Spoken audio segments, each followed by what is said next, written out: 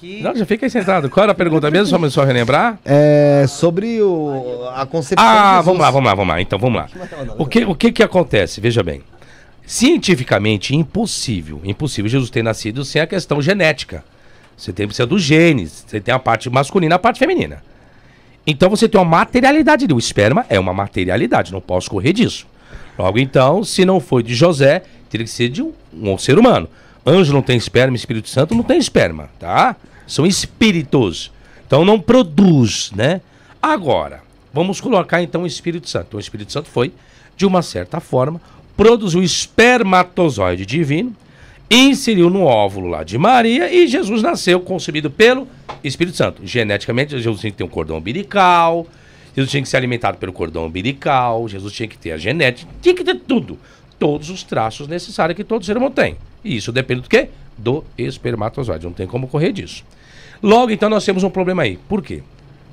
Ao mesmo tempo que o Espírito Santo concebe Jesus no vento de Maria, ao mesmo tempo o Espírito Santo está pecando. Pecando por quê?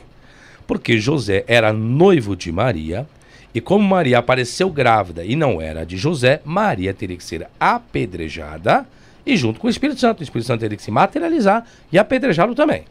E logo José se tornou o quê da história? Corno. José se tornou corno. Por quê? Porque Maria é noiva de José, o Espírito Santo engravidou Maria. Maria. É, de, é de José? Não. Não. E hoje você vai falar o cara o quê? Não é corno, não? É corno, o filho não é dele. Ué. O camarada que é noivo da mulher, o Espírito Santo vai lá, vou dizer assim, um jargão bem, né? Pra ficar bem chulo mesmo. Transou com Maria, ficou grávida e José passou a ser corno. Aí o que que acontece? Assumiu. Assumiu o B.O. O BO. É o corno manso. Aí o que acontece? Só que você vê na cena, José não sabe nada de Espírito Santo aí não, senhores. Não. José, o texto diz assim, ó. E José tentou deixá-la secretamente. Porque como José era noivo não tinha transado com ela, o que, que José faz?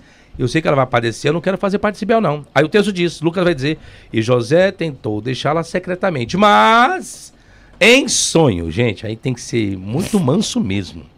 Aí José dorme, aí aparece o anjo Gabriel em sonho para José e diz: José, não temas receber Maria, tua mulher, porque o que nela está concebido é do Espírito Santo. Aí José acordou, glória a Deus, aleluia, bora, vamos lá, meu filho, abençoar. Ô, gente, pelo amor de Deus. José nem do Espírito Santo ele sabia que era. Aí o escritor cria isso, isso é o escritor, viu? Aí o escritor ele tem que fazer o que? Ele, ele tem que deturpar o texto para É que colocar para que você acreditar. ele. Isso aí ele tem que fazer o quê? Ele tem que divinizar. Ele É tem porque que espiritualizar. o Existem lacunas que o cara tem que preencher, senão fica vazia Pra a dar história, sentido. né? Pra dar sentido. É né? isso que a Bíblia é assim, infelizmente. É uma colcha de retalhos com vários parafraseamentos.